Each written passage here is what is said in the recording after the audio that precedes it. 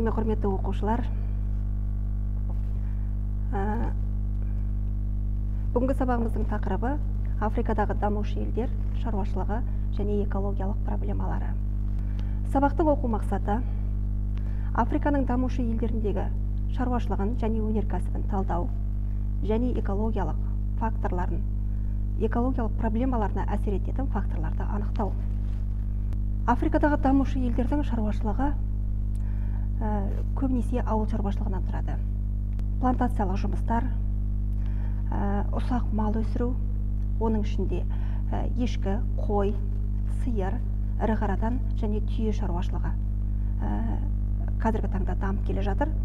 Сонымен қатар плантациялық өнімдер ә, кофе какао ә, өнімдерін өсірумен айналысады екен балалар. ә,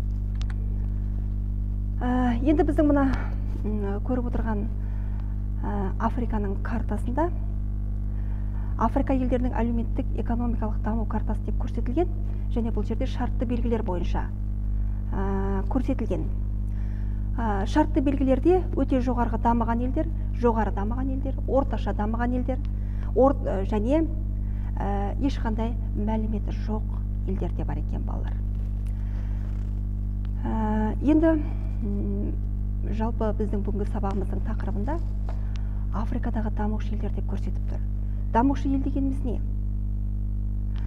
Ә, дамушы елдер дегеніміз көп жағдайда экономикалық деңгейі төмен ә, халық саны тым артып кеткен оны жалпы демографиялық жарылыс деп те атайды өлім жітім көп әсіресе ол балаларда байқалады.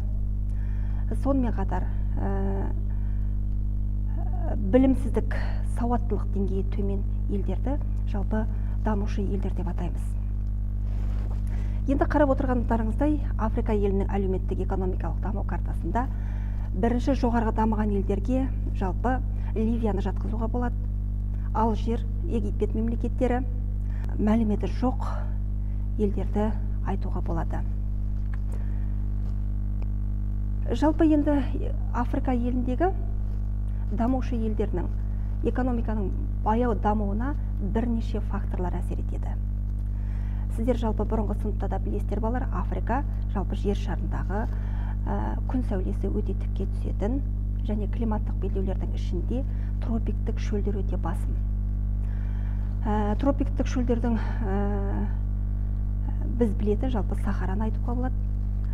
Ә, құмды шөлдер өте басым. Соған байланысты бірінші фактор жалпы экономиканың дамуына әсер ететін бірінші фактор бұл жердің көп бөлігінің шөлді болып келуі.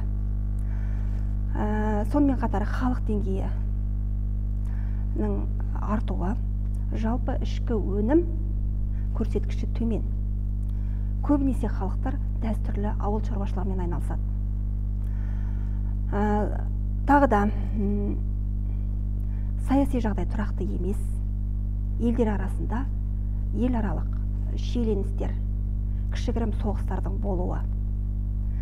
Және де көбінесе ересек халықтардың халықтардың үштен бір бөлігі сауатсыз болып келеді екен. Жалпы материктердің ішінде халықтың жетпіс пайыздан астамы әлі де кедейшілік күн кешуде. Осы айтып, отырғандарымыздың барлығы африканың дамушы елдеріндегі экономиканың дамуына кері әсерін тигізетін бұл факторлар болып табылады. Енді африкадағы ауыл шаруашылық өйткені біздің сабағымыздың жалпы ә, тақырыбында құрылымында африканың шаруашылығы ауыл шаруашылығы көрсетілген. Африка ауыл шаруашылығы жалпы материк бойынша егістік жерлермен айналысады шабындық жерлер және жайылымдар. Оның аумағының тек 39 пайызын ғана осы жерлер алып жатыр екен. Ә, қарап отырсақ егістік жерлер шабындық жайылым сонда қалған ә, пайыздың барлығын көбінесе ә, құмды жерлер аласа таулар жалпы шаруашылыққа қолайсыз жерлер басым екен. Африканың басым бөлігі шөл шөлейт жартасты таулар. Ондай жерлерге ауыл шаруашылығын дамыту мүлдем қолайсыз болып табылады. Енді диаграммаға қарайтын болсақ африканың егістік жерлер және бау бақшаларды өсіретін жері жалпы материктің сегіз пайызын алады. Орманды жерлер 21 пайыз шалғын және жайылымдар 31 пайыз. Ал енді қараусыз жатқан жерлер жалпы материктің 40 пайызын алады. Сонда қарап отырсаңыздар балалар ә, қараусыз ешқандай ә, ауыл шаруашылығын дамытуға қолайсыз жерлер жалпы осы диаграмманың ішіндегі ең көп мөлшерді көрсетіп отыр. Африкадағы мал шаруашылығы. Ә, африка мал шаруашылығы аса дамымаған. Бұл әсіресе ә, бір нәрсе оған себеп болуы да мүмкін. Сіздер балалар білесіздер ғой балалар африкада цц деп аталатын шыбын бар. Бұл шыбын жалпы мал, мал малдарға үлкен кедергі келтіреді екен. Егер мал шаруашылығы айтарлықтай орын алатын болса бір екі үш елді айтуға болады екен африкада. Эфиопияны кенияны және сомалиді айтуға болады. Экваторлық ормандарда осы күнге дейін аңшылықпен балық аулаумен терімшілікпен айналысатын тайпалар бар екен бар, балалар. Ал саванналар мен ылғалды тропиктік ормандарда ә, ағаштан ә, тазартылған жерлерде қазіргі таңда егіншілікпен айналысу ә, қолға алынып отыр және жүргізіліп те келе жатыр. Өсімдік шаруашылығы. Ә, көп жылдық желектер какао кофе жер жаңғағы ә, майлы пальма шай және дәм татымдық бұйымдар дейміз ғой балалар жаңағы қоспалар осы ә, өсетін ә, негізгі осы өсімдік шаруашылығындағы негізгі тұрақты өсіретін жалпы өсімдік түрлері болып табылады екен бұл дақылдардың кейбіреулері плантацияларда ал кейбіреулері шаруа қожалықтарында өсіріледі. Бір қатар елдердің бір дақыл өсіруге мамандануы ең алдымен осындай өсімдіктерге байланысты екен. Бір ғана саламен айналысады екен көп жағдайда бір ғана өсімдікті өсіруге маманданған болып табылады екен. Жеңіл өнеркәсіп. Жалпы біз жеңіл өнеркәсіпті білеміз балалар. Бұл жерде жеңіл өнеркәсіпте өндіруші өнеркәсіптің бір саласы. Жеңіл өнеркәсіп салалары арасынан тоқыма өнеркәсібін айтуға болады. Ерекше египетте мароккода ә, мақта өсіреді. Және сол мақтадан жіберіп ә, жеңіл өнеркәсіптің қажетті ә, киім кешек тоқыма бұйымдарын жасап шығарады екен. Ә, сонымен қатар тамақ өнеркәсібі салаларынан май шығарады екен. Бұл май көбінесе ә, сол жерге тән өсімдіктерден алынады. Зәйтүн майы жер жаңғақ майы және пальма майы. Ұн тарту қант және шарап шығаратын өнеркәсіптерде көзге түседі екен. Жалпы африкадағы өнеркәсіптің дамуы соңғы жылдары африка тропиктік елдерде өндіруші өнеркәсіп қарқынды дамуда. Қазіргі таңда африкада көптеген елдерде жалпы шаруашылықты дамыту жақсы қолға алынып келе жатыр. Бұл сала ең алдымен жергілікті минералды шикізаттарды өндіруден басталып отыр қазіргі таңда.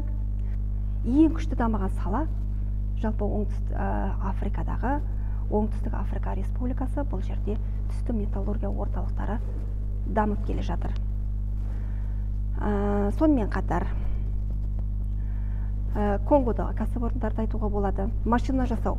Бірақ ә, машина жасау өнеркәсібіне машинаны құрау шикізаттан көрі машинаға қажетті тетіктерді сырттан алып келіп құрастыру жұмыстары жүргізіледі.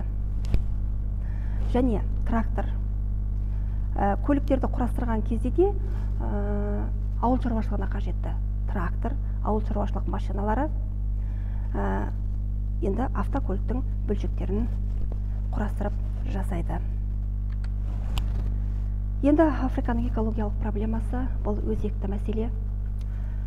Өзекті деп айтатын себебіміз африка жерінің жаңада айтып кеттік қой балалар. Ә, ыстық және тропиктік шөлдер басым. Мысалға біз климаттық белдеулерді айтқан кезде экватор тропик қоңыржай арктикалық деп айтқан кезде жалпы бұл африканың өзі екі жарты шарға да теңдей. Сол себептен бұның жерінің көп бөлігін тропиктік климаттық белдеу алып жатыр. Соған байланысты экологиялық проблемалар көбінесе халықтардың денсаулығына байланысты ә, болып отыр және халық санының тым артып кетуде ә, экологиялық проблемаларды туындатады. Ыстық құрғақ ә, жалпы осындай планета деп айтуымызға жалпы африканың елу бес елінде 37 ә, халқы 37 қалаларда бір миллионнан асатын халықтар тұрады екен балалар. Африка аумағының экологиялық проблемаларын шешу жолдары қазіргі таңда дүниежүзі бойынша юнеско көлемінде де қолға алынып жатыр. Шөлдердің ә, шөлейттену және шөлдерді ә, ары қарай ұлғайтпау ә, сонымен қатар